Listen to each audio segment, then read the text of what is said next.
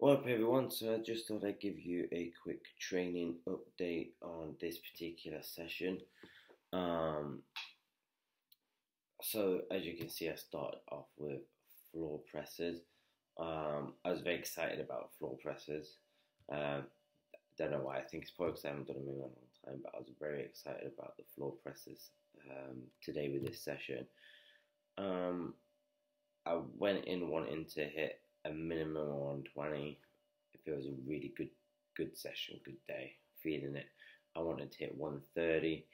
Um, I was a little bit kind of skeptical, well, a little bit unsure because um, didn't have any training partners with me today. Didn't didn't have any spotters um, or anything like that. So um, did have to play it a little bit safe, you know, because as much as I like to just fucking go reckless with my lifting sometimes.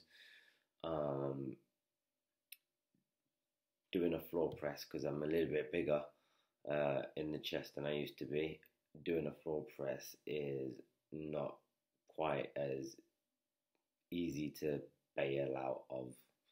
Basically, if I did fail, because um, I, I did try testing it out and just like I think I could get the bar to about my just about my rib, bottom of my rib cage um, with the 20 plates on the side. So um, if it came down on my chest, I think I probably would have just been proper stuck, or I would have had to have dumped it on my face, something like that, to get out of it. So I did have to be a little bit conservative. Um, I did actually thought I was going to do more because, as you see, I finished on 120. Did actually think I was going to do a little bit more.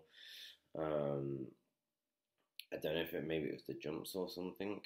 Um, it certainly was did start to get a bit hard to unrack it myself. Um, but yeah, 110 actually felt pretty good. Um, and I thought, oh, fucking definitely in for a 130 in here, definitely in for a 130. And then I did 110 and it was such a grinder. Um, I felt like my torso was twisting a little bit to try and get it up. So, um, yeah, I thought I'd finish that there. Um, the rest of the session, um, I would have liked it to have gone a lot better.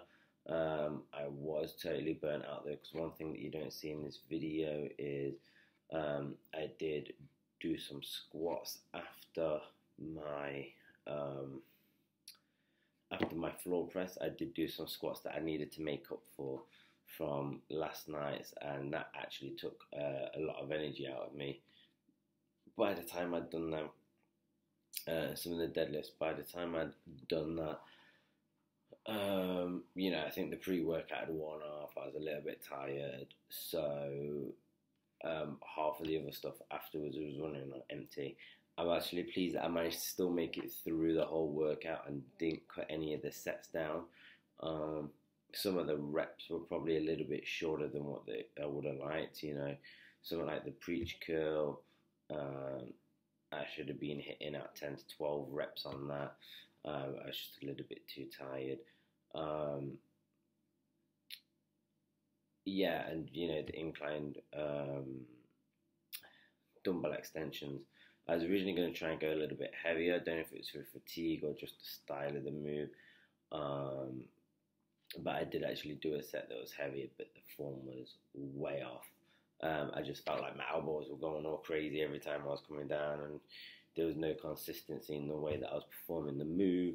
So I dropped it down by about two and a half kilos or so a dumbbell, um, and started doing the sets that you see in, in the video. So um, overall, not a bad session. Very tough, a lot tougher than I wanted it to be, than it should have been.